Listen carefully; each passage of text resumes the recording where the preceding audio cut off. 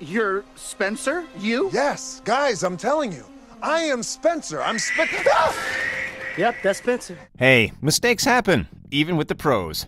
Welcome to Watch Mojo, and today we'll be counting down our picks for the top 10 movie crew members embarrassingly caught on camera.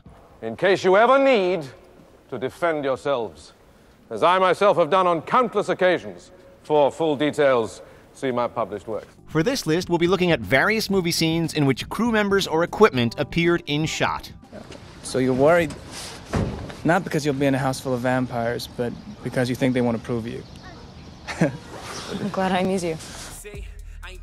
If you like what you're hearing, be sure to check out the full song at the link below. You know it, you know it, the man of the moment. You feeling the pressure, I'm feeling at home. And I figure I'm winning, I'm taking the throne, and I'm saying no. Hey, you know, you know, you know. Number 10. The Crew, Shazam. Director David F. Sandberg would be the first to admit that he messed up while filming Shazam.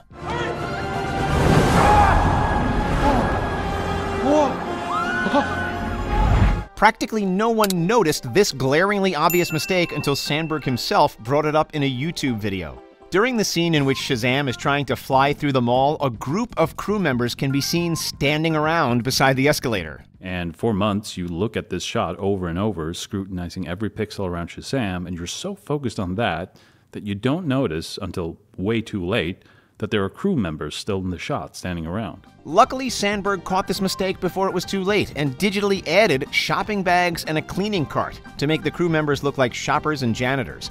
Why they're all just standing there, harder to make sense of, but it's certainly better than nothing. Oh, whatever, screw. Number 9. Ancient Jeans. Gladiator.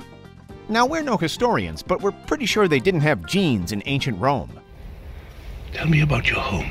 Unfortunately, a jean wearing crew member can be spotted at the very beginning of Ridley Scott's epic Gladiator. Following the opening battle of Germania, Maximus approaches a horse. If you look through the space between the horse's chin and neck, you will see a crew member walking in the background clad in a very modern sweater and jeans.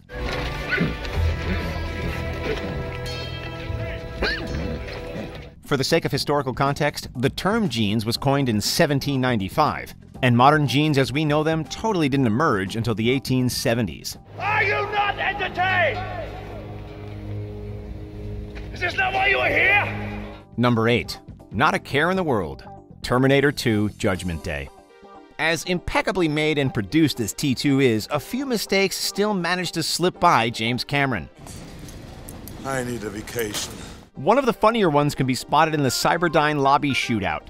Immediately after the SWAT team opens fire on the Terminator, a crew member can be spotted walking by the left hand side of the background with his hands in his pockets. Drop him! The best part is that he seems to realize that he's just walked directly into frame. He stops walking, faces the action, and seems to turn back the way he came as if to get out of the shot. Clearly, though, it was too late.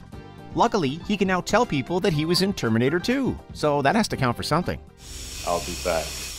Number 7. Bless these crew members, the Rocky Horror Picture Show. Here we have another case of crew members simply standing around in the background. Since you're such an exceptional beauty, I'm prepared to forgive you. Unfortunately, filmmakers in the 1970s couldn't just easily digitally add random goodies to disguise the crew and make them part of the action. During Eddie's Hot Patootie Bless My Soul number, Eddie gets on a bike and begins riding through the lab. During one of his POV shots, a group of crew members can be very briefly seen on the right hand side of the screen.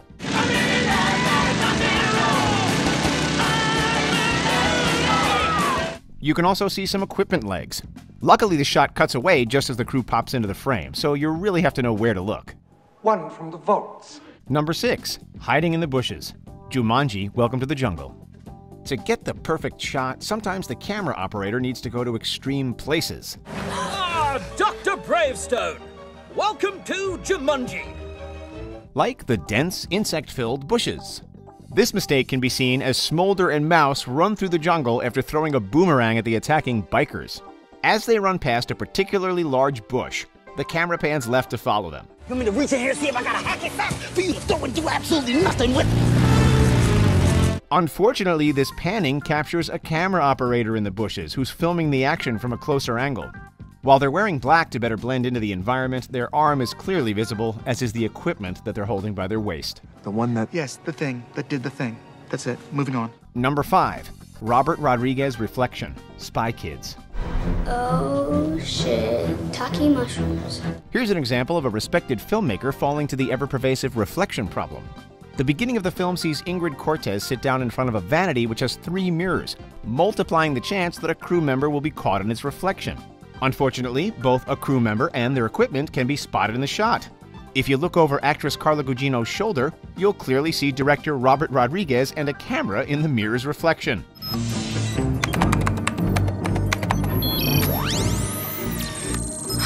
Hey, maybe he just wanted a cameo. Never sent an adult to do a kid's job. Number 4. Car Reflections Twilight. The filmmakers of Twilight fell into that reflective trap not once, but twice. What is it?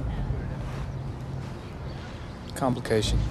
The first instance is when Bella arrives for her first day at her new high school.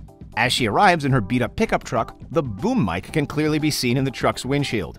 To make matters worse, it can then be seen retreating as the camera pulls away from the truck.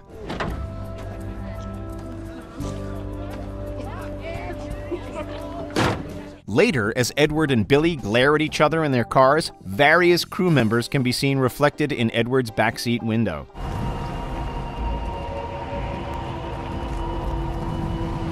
Number 3. Baseball Cap, Braveheart. Here we have another period piece containing a very modern piece of apparel. Might kill the fly up, but I'll try, Oh, God, you certainly didn't learn any manners on your travels. The beginning of the movie sees Wallace and his old friend Hamish competing in a friendly boulder throwing competition. Wallace decides to up the ante and play a game of chicken with the boulder. Just as he says, well then do it, a crew member sporting a baseball cap can be seen walking in the background to his left. Well, then do it. Would you like to see him crush me like a worm? Obviously, there were no baseball caps in 13th century Scotland. Granted, Braveheart is full of anachronisms, so hey, this mistake fits in well with the rest of the movie. Fine speech. Now what do we do? Number 2. Filming the Duel Harry Potter and the Chamber of Secrets. Apparently, Hogwarts was filming the Harry Malfoy duel for posterity. Scared Potter. You wish. Either that or a cameraman accidentally got in the shot. It's probably the latter. Immediately after Malfoy is launched by Harry, Snape lifts Malfoy to his feet with an air of disappointment and fury. Just as he puts his hand on Malfoy's shoulder, viewers can clearly spot a blonde haired cameraman standing to the left of the stage.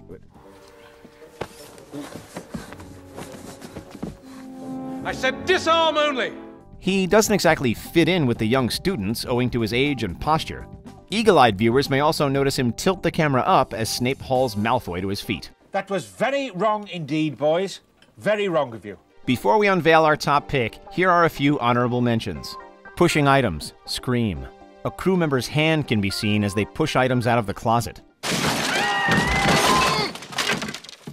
Crew and Spotlight, Indiana Jones and the Temple of Doom. Various crew members and a spotlight can be seen as Short Round runs through the mine.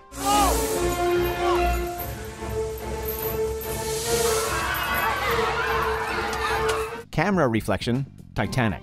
Apparently, a camera operator is coming to dinner as well. Good evening, sir.